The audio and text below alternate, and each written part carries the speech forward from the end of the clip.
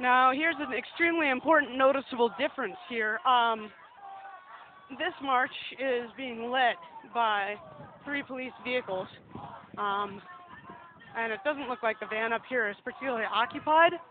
So I think we're, uh, yeah, I think this is an escort um, and clearing the streets.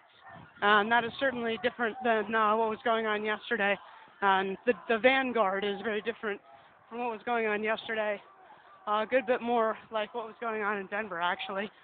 So, as you can see, everybody's coming along, and there's a group along the front line there uh, holding hands to kind of keep keep the parade or the march within its uh, within bounds, keep it within certain strictures, try and keep people from getting too far in front or letting people fall too far behind, keeping the pace.